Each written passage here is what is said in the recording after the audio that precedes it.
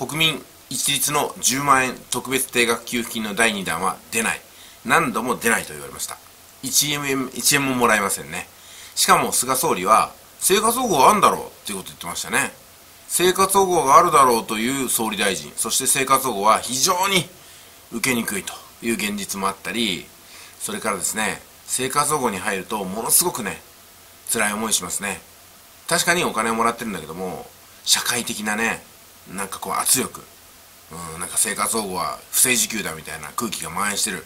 えそして生活保護から通常業務に戻っていく社会復帰するのは非常に難しいというねこういう罠があります、まあ、ですんでね、え本当にね生活保護が生活を保護してるのかそもそも十分な額をいただけてるのかってことがありますね。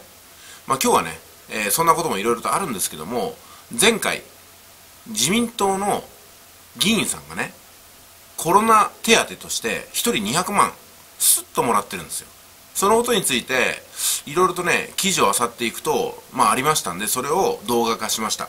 その動画をご覧になった皆さんのコメントをですね今回一緒に読み上げたいと思いますのでいつものように画面を切り替えていきましょう。本当に腹立たしいですよね。皆様のお怒りもごもっともでございます。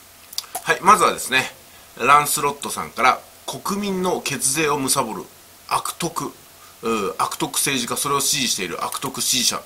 本当ですよ。自民党になんてねもうビタ一も入れないですよ。松岡さんおはようございます。本当でダメです、えー、本が終わるかもと日本が終わるかもと思ってます。まったくねなんとかしてくださいよこれ。下道内閣ですねってありますけど下道ですね。えー、恵子さん。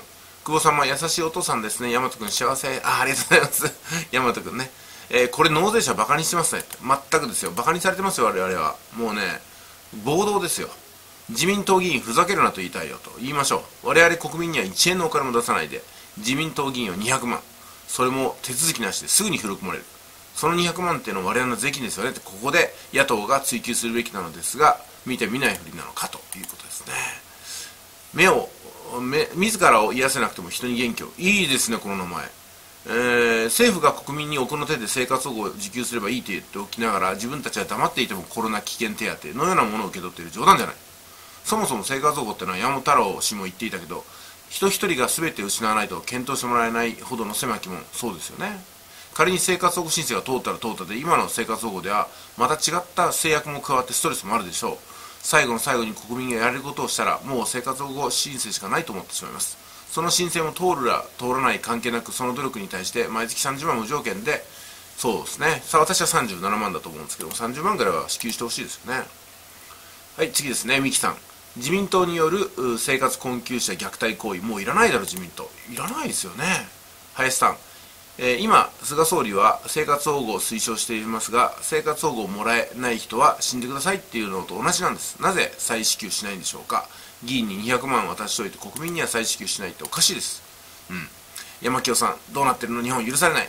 麻生太郎を何とかしないとダメ。この人がね麻生太郎がダメですよね、えー、残念です。ただそれだけ。家元さんいつもありがとうございます。えっ、ー、とラビットさん。ラビットさんもいつもありがとうございます。ダメだこいつら。大和君もわかるかな？本当に泣きたくなります。大和の時代にはねそうしたくないなって。郁美さん。するって書いてますよね。なんかねお怒りでございますね、えー、林さん。菅が国会で再給付出さないって言ってます。それなのに自民党に200万渡してほし、国民は出さないって矛盾しています。もう再給付金諦めるけどダメなんでしょうか？諦めるのもいいですけども、諦めず運動を起こしてもいいんですよ。議員の給料は税金でもらっているのに、国はもう腐っています。選挙には自民党議員、菅に、えー、2回、麻生には絶対入れないでください。入れないようにしましょう。私たちはね、選挙で戦うしかないです。お疲れ様です生活保護があると簡単に言いますが簡単にもらえる人ばかりではありませんストレス溜まりすぎて髪が白くなってきました最近、うん、そういうところもあるでしょうねゲーセン20年泣きたくもなりますよね。大和君が代弁してくれた そもそも緊急告知は借金だし1回だけだし審査めんどい。すぐ振り込めないだし生活保護も戦車むずいしえーと、生活保護になったらなったで生活にかなりの制約がかかる。理解した上で物事を発信してほしいですね。全くです。太郎さん。厚生年金8割パクリの実態です。皆さんはあ明日は我が身ですよ。もう今日我が身ですよ。年金が一番安いのは3択です。年金もばらまきボロ儲け経団連。経団連に入る。あ長いまた。長い。すみません。読みません。UX さん。200万円の名目は何でしょうねこれね。コロナ手当かな。ミミちゃんさん。録音中の子供さん時々泣きますが奥さんが見ないのですか？奥さんねこの時いなかったんですよ。えっ、ー、となんですか？栄養さん。殺人内閣。自民党の議員には甘くしてお金も渡す。国民には一律給付を出さない。住む場所がなくなればホームレスか？犯罪、えー、だな。自殺者や餓死者が増加したのも人殺し菅総理の政策何人殺したなということですね。まあちょっとね鋭い言葉も並んでましたけどもいかがだったでしょうか。あの私たちは全然もらえないけども自民党の皆さんは200万スッともらってねしかもそれだけじゃないです。いろいろ他にももらってますからね。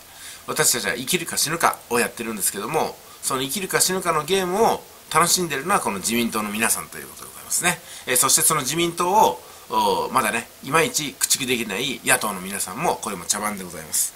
本当にこれからですね私思うんですけども YouTube とかインターネットを軸に本当に国民の声を吸い上げてきた令和新選組ですとかね N 国党みたいなそして第3の勢力がこれからも出てくると思うんですよ。もしかしたら日本第一統合かもしれませんよね桜井誠さんみたいなね。うん何にしてもねもうねあのー、頭古い老人ばっかりの政党とかね既得権益を中心として来て回ってきた既得権益っていうのがこの日本からなくなりますんで。既得権益じゃなくて新しいね勢力に私たちは身を委ねるか自らがそれを起こすかになってくるんじゃないかなと思いますね。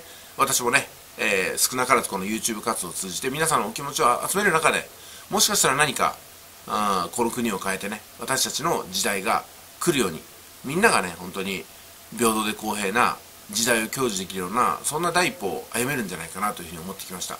きっと私の動画に集まってきてくださった方とかコメントを書いてくださる方は自分に降りかかる不幸も許せないけども自分以外の人に降りかかる不幸にも目をつぶれない方だと思うんですよ、そういう意味ではね私たちは本当に仲間なのかもしれません。